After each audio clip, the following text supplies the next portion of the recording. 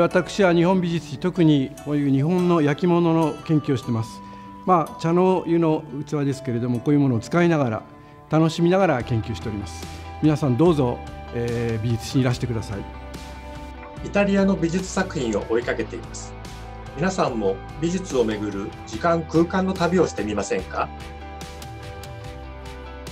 にゃにゃにゃにゃにゃにゃにゃにゃにゃにゃ哲学の森へようこそ。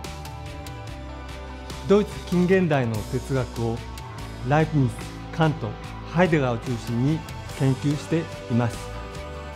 見えないでしょ？こんな絵の歴史を一緒に勉強してみませんか？今も昔も哲学家。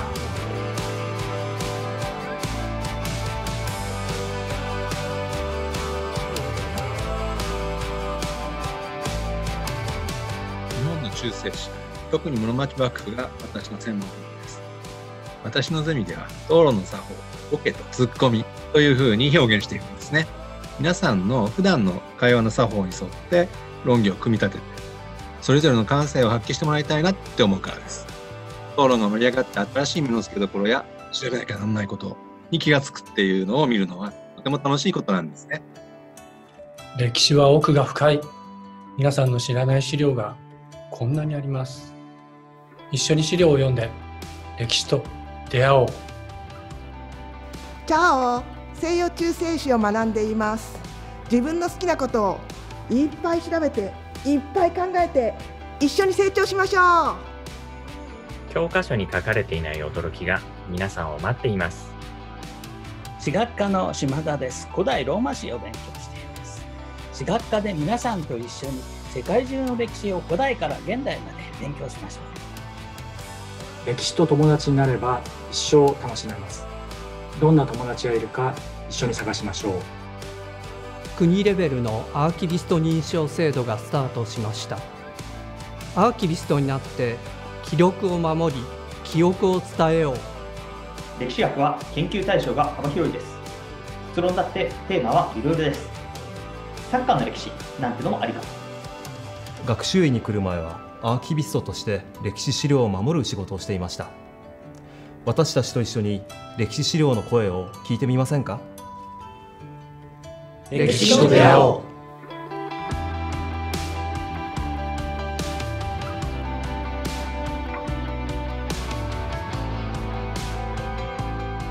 私は今京都の妙心寺にいます。日本の古い文化や言葉は連綿と今につながっています。日本語教育って何でしょうか？日本語教育を通じて日本や日本語について知り世界への扉を開きましょう。問題を自分で探し出して、えー、回答のない、えー、その問いに回答してみる、えー、それが学問でありかつ人生そのものだと思います。昔から今までずっと時間はつながっています。過去の日本文学を考えることは今を考えるために必要です。大学は楽しいよ。大学は楽しいね。大学は楽しいよね。でも大学は楽しいねよ。って言いませんね。なぜでしょう？そんな日本語文法の不思議を一緒に考えましょう。日本語教育を学ぶと日本を外から見ることができるようになりますよ。一緒に日本語教師を目指しませんか？文学を通していろいろなことが学べます私は漱石を経済で勉強してしまいました。日本について学びましょう。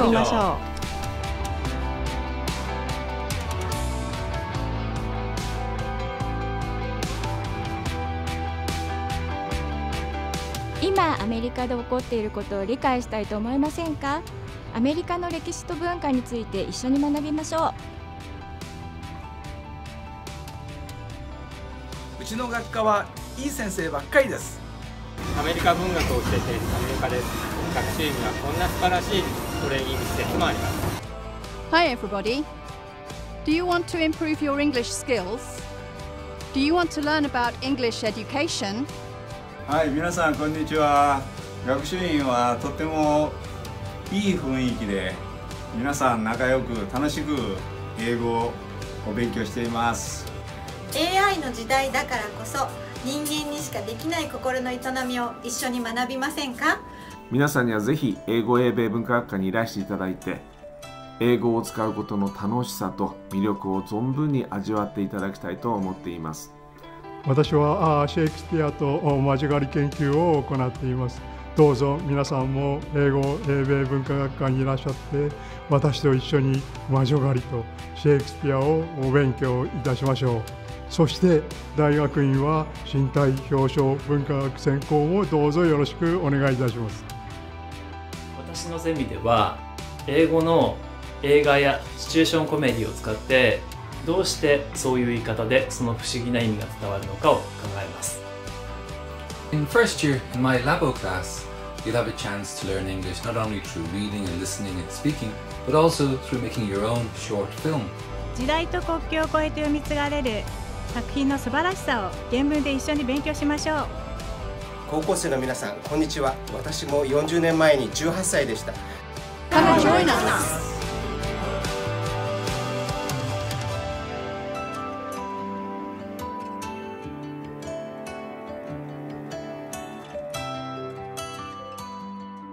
音楽についてはもちろんアートや音楽についても文化を広く学ぶことができますドイツ語圏文化学科は明るくて自由なところです。ここで皆さんもドイツ語とドイツ文化を学びませんか？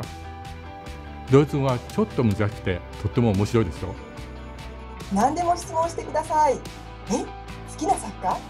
それはもちろん。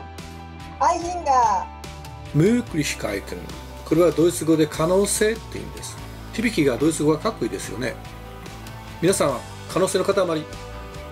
ドイツのことを勉強してみたら見えるものが全然違っていたそんなドキドキ体験を一緒にしてみませんか皆さんドイツ語は難しいと思われてますけど全然そんなことはないんですよ仕組みを理解して勉強すればすぐに習得できます Ja, Deutsch ist wirklich interessant und macht Spaß. Lernen wir Deutsch zusammen. Kommen Sie zu uns. Viel Spaß im, im Studium.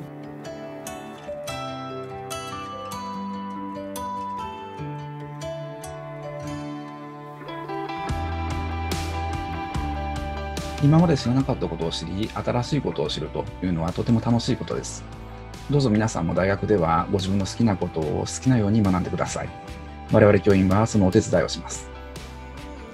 当学科はフランス語圏の文化について学びながら人間の内面性への深い洞察力と批判精神等を養うところですぜひ一緒に勉強しましょう言葉は情報を収集するための最大のツールですフランス語を学び新しいツールを得てあなたの世界を格段と広げてください。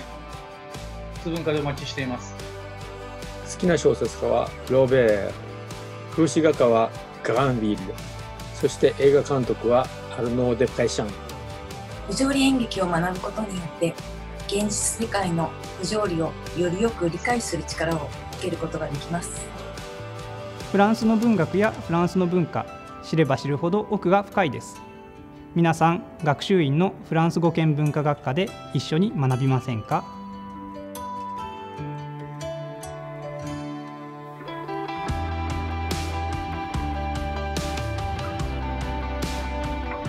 人はどんな時に頑張れるのか？モチベーションが私の研究テーマです。私の専門は認知心理学。人間の知の働きを実験的に科学的に研究しています。臨床心理士と公認心理士2つの資格を目指す。あなたの第一歩をサポートします。子供はどうしてアンパンマンが好きなのでしょうか？その答えは発達心理学の授業でアンパンチ。心理学の面白さを確認してください。